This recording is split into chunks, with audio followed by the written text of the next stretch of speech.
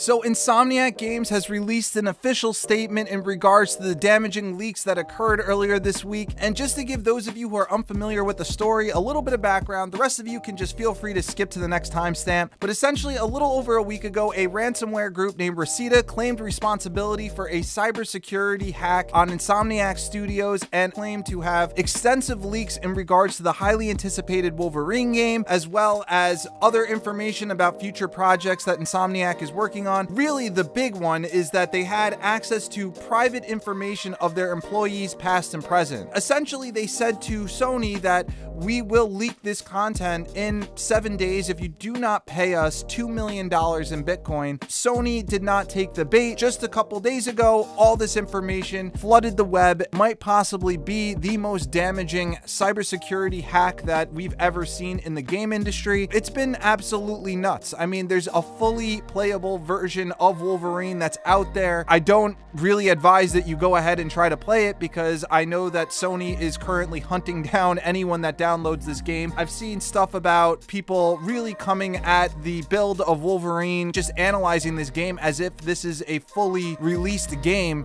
which to me is absolutely crazy because we're looking at essentially the development of the game. That we're looking at stuff that might not even be in the final build, and we're just making these crazy judgments based off of like literally a pre-alpha build of Wolverine. I've seen all sorts of crazy takes. I mean, if you're someone that feels that it is an equivalency that because they put in a side mission you didn't like in Spider-Man 2 that all these people deserve to have their private information leaked, then you need to get your head checked. I just think that we have an issue in our society that if something does not directly happen to us, then we feel that it's okay for these other people to be dragged on the internet, their personal information to be leaked. What is going on here. I think we need to just get a grip on ourselves. That's a whole other conversation for a whole other time. So Insomniac released their official statement yesterday, and I gotta say, it was really well written. Uh, all things considered, I would be through the moon upset, and they were able to give a very measured response. So I'm gonna share it with you guys right now. Thank you for the outpouring of compassion and unwavering support. It's deeply appreciated. We're both saddened and angered about the recent criminal cyber attack on our studio and the emotional toll it's taken on our dev team. We have focused inward for the last several days to support each other. We are aware that the stolen data includes personal information belonging to our employees, former employees, and independent contractors. It also includes early development details about Marvel's Wolverine for PlayStation 5. We continue working quickly to determine what data was impacted. This experience has been extremely distressing for us.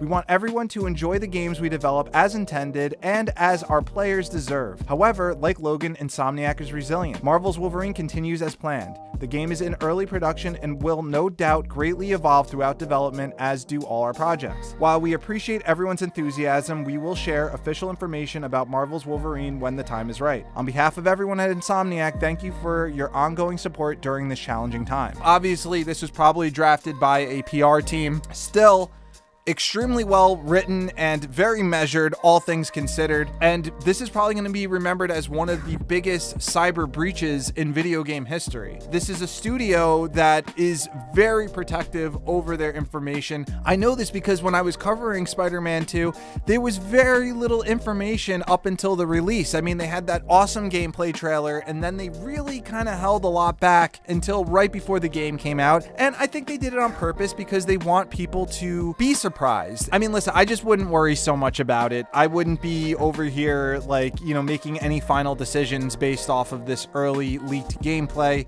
I'm a strong believer that let them put the game out when they feel it's ready. It's not even from a moral standpoint, it's just from the fact that you're not seeing what the game is actually going to be. During the development of anything, whether it be a movie or a video game, there's tons of different things that they try, that they put in a game, and then they're taken out and they're tested and and and so on and so forth. So this game could be considerably different by the time it makes it out. Really, this is just a terrible thing that has happened. These are human beings. We got to learn how to be able to distinguish a disagreement with just humanity. Because at the end of the day, if we can't distinguish those two things, then we are just gone as a society. So, anyways, let me know what you thought in the comments of this statement. Um, I thought it was very well written, very well measured, all things considered. And if you enjoyed this video, please leave a like. Maybe consider subscribing if you enjoy the content that I cover on my channel. And as always, my name's Eric Rosas, and I hope you all have a fantastic day.